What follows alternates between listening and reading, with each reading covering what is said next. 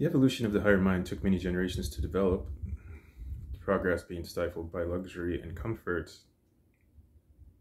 surrendering to the bovine aspect, advanced equations in mathematics being out of the bovine dimension and hence not their problem.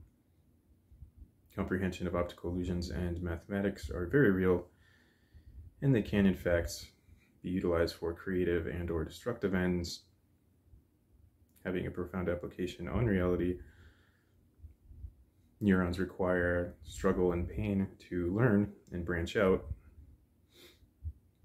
Emotional pain being at the top of the list, which is difficult to replicate in any kind of simulation environment. The curse and punishment of Prometheus, profound truths found within the old stories. Friction sharpens the blade, not the path of least resistance, referring to pink unicorns basking in the corroding mists of rainbows and beds of roses. Many talk about New Age concepts requiring the sexual fluids and retention thereof, sending through the endocrine glands in order to evolve to a higher consciousness. But in my own experience, personally, massively detrimental events of emotional and physical pain were the main focus of it all.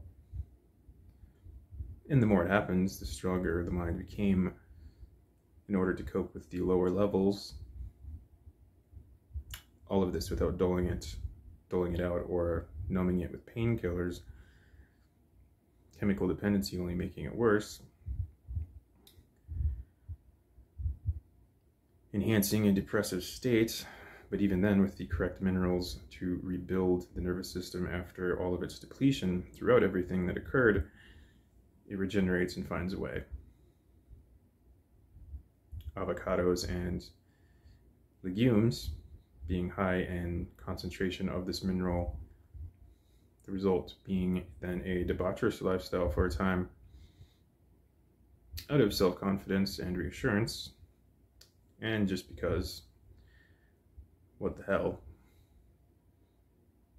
Dionysian moving into Apollonian, the herd archetypes ridiculing and criticizing the path chosen all along the way not supporting anything to do with it, where choosing death of the ego within the society becomes perceived to be absolutely insane to undergo, name calling and stereotypical labels. All of it necessary in order to evolve and progress forward. Many people do not accept any concept of a soul residing within and animating the corpse, the mind and body concerned with matters that the soul doesn't really care about honestly. In Prometheus Bound by Aeschylus, it says, Senseless as beasts I gave men sense, possessed them of mind. I speak not in contempt of man. I do but tell of good gifts I conferred. In the beginning, seeing they saw miss, and hearing heard not, but like phantoms huddled in dreams, the perplexed story of their days confounded